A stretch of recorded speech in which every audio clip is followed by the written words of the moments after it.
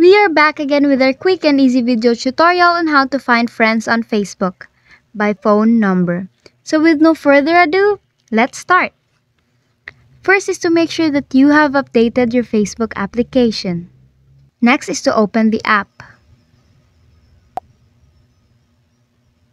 Now on your home page, on the upper right, you will see three dash lines.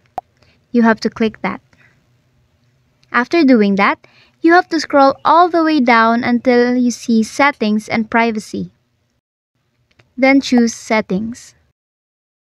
Once you are on the Settings and Privacy page, you will then scroll down to the Permissions and find Upload Contacts.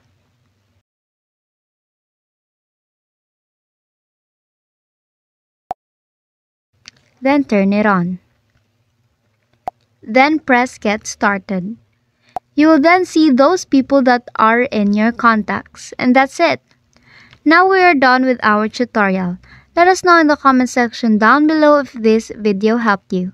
For more video tutorials like this, subscribe to our channel and click on notification bell. Thank you for watching.